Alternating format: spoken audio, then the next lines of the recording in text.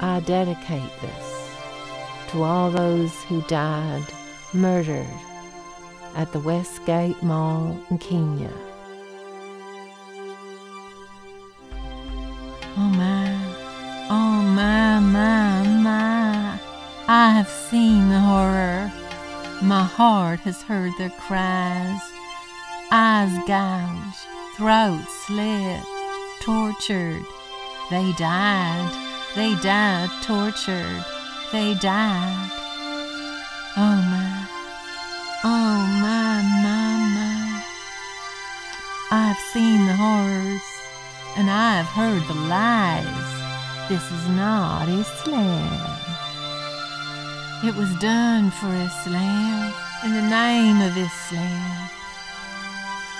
My heart feels the horror, cries with the cries, eyes gouged, throats slit, slit again, thrown three floors to death. Death a relief from horror, death in the name of Islam. No more time for lies. I cry for those tortured in the name of Islam. My heart cries, Stop Islam, stop Islam, stop Islam, now and forever, stop Islam.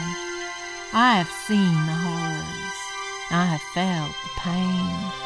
Inside me it cried, Never, never again, no more Islam, never, never again Islam.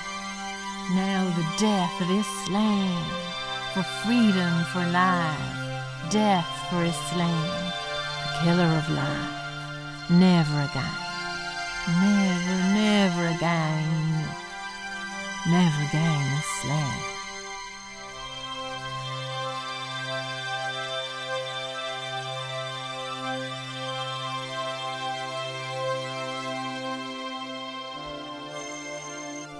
I dedicate this to all those who died murdered at the Westgate Mall in Kenya, murdered for not being Muslim by Muslims who were doing it in the name of Allah, who took turns off what they were doing to pray to Allah.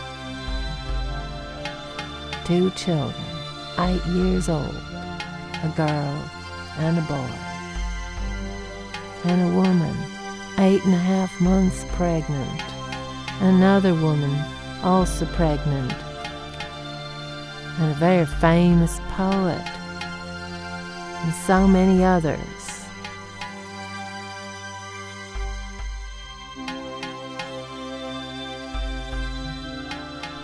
This is dedicated to all these people to all those who died murdered for not being Muslim.